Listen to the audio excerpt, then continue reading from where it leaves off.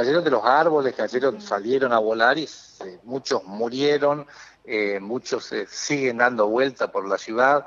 La verdad que todavía no sabemos qué pasó, sí que se escuchó un ruido muy fuerte que podría ser de un avión, eh, la gente de la policía y la gendarmería que ya está trabajando acá, se está ocupando de recorrer la zona, digamos.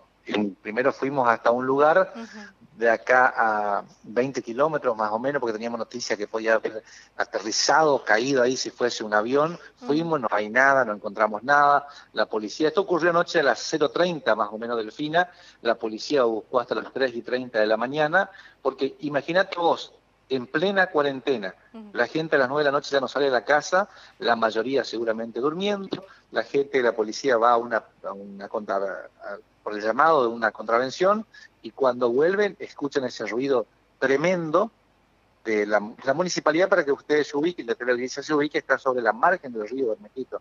Yo de mi ventana veo el río eh, de mi oficina. Entonces, los chicos de la policía escuchan ese ruido tremendo sobre el río y el vuelo de los pájaros y la municipalidad de 700 metros donde está mi sereno escucha el mismo sonido que causa un revuelo impresionante, mueve los árboles, mueve los techos de la municipalidad y después otro empleado que forma parte del staff municipal que vive a tres kilómetros sobre el río también escucha el mismo sonido, pero no, no pudimos ni el, ni el sereno, ni los chicos de la policía divisar si era un avión o qué objeto era lo que pasaba. Trabajando la gente de, Gendarmería Nacional, la gente de la Policía de la provincia, recién me llamaron de Gendarmería para ver si tenemos un protocolo para aterrizar helicóptero, porque viene un helicóptero de la, de la, de la Gendarmería, porque realmente queremos saber qué pasó, ¿no es cierto?